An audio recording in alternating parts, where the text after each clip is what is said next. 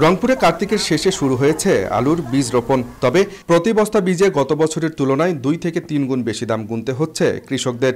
একই সঙ্গে সার ও কীটনাশকের দাম বাড়ায় বিপাকে পড়েছেন আলু চাষিরা। প্রত্যেক বছর মোটামুটি আট দশ বিঘা জমি আলু চাষ করি। কিন্তু এবার বীজের অপ্রতুলার কারণে এবং বীজের দামের বেশির কারণে এত পরিমাণ চাষ করতে পারতেছি না। গত বছর আমরা বিএডিসি থেকে বীজ নিচ্ছিলাম হচ্ছে তিরিশ টাকা করে।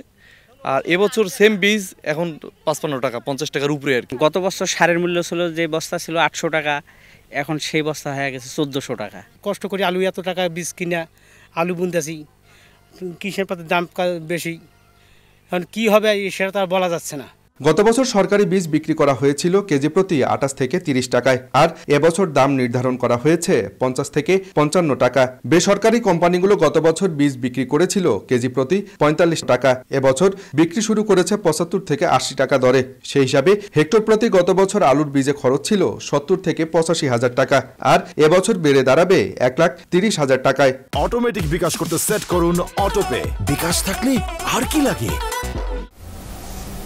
ব্যবসায়ীরা বলছেন, এবার বীজের দাম বাড়ায় আলু চাষে আগ্রহ কমেছে কৃষকদের। বেসরকারি পর্যায়ে গত বছর এরকম সময় পঁয়তাল্লিশ থেকে পঞ্চাশ টাকা ছিল, যেটা এবার ষাট থেকে সত্তর টাকা বিক্রি হচ্ছে।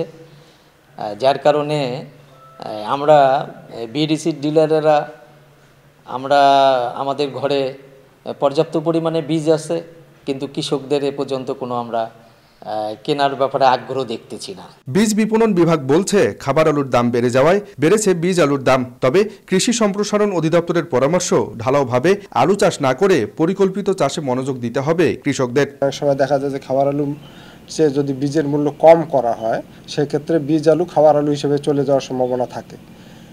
এই কারণেই বীজের মূল্য একটু তুলনামূলকভাবে খাবার আলুর সাথে মানে সামঞ্জস্য রেখেই করা হয়েছে। বিএডিসি যে ইয়া, এই বীজ সংরক্ষণ আছে, সেগুলো আমরা যাতে কৃষকরা এই ধরনের ভালো জাতের ফল, উচ্চ ফলনশীল জাতের বীজ তারা পায়, সেজন্য তাদেরকে আমরা উদ্বুদ্ধ উদ্বুদ্ধ করছি।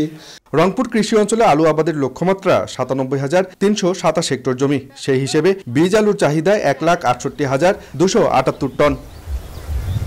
আব্দুর রশিদ জীবন, সময় সংবাদ, রংপুর।